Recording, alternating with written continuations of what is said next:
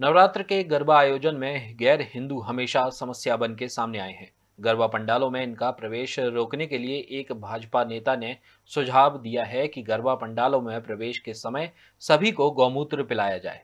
गरबा पंडालों में गैर हिंदुओं के प्रवेश को रोकने के लिए इंदौर बीजेपी जिला अध्यक्ष चिंटू वर्मा अनूठा आइडिया दिया है। चिंटू वर्मा ने कहा है कि गरबा पंडाल में आने वाले हर व्यक्ति को गौमूत्र पिलाया जाए। आगंतुक हिंदू होगा तो गौमूत्र पीने में उसे आपत्ति नहीं होगी, क्योंकि आधार कार्ड एडिट हो जाते हैं। गरबा में आने के लिए गैर हिंदू लोग तिलक भी लगवा लेते हैं, कलावा भी बाँध लेते हैं। भाजपा जिला अध्यक्ष ने गरबा आयोजकों से अपील की है कि गौमूत्र पिलाकर पंडाल में आने वाले लोगों को एंट्री दी जाए। गरबा माता की आराधना का है। ज़्यादा से ज़्यादा लोग इसमें सम्मिलित होना चाहिए। माता की आराधना हमारी बहन बेटियाँ करती हैं।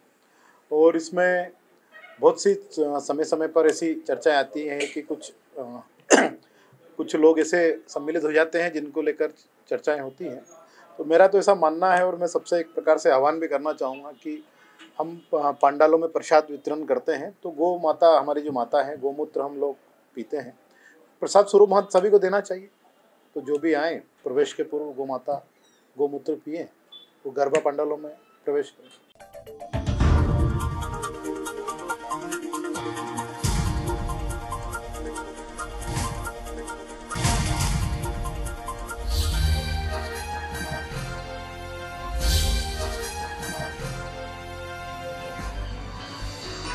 आप देख रहे हैं दखल न्यूज़।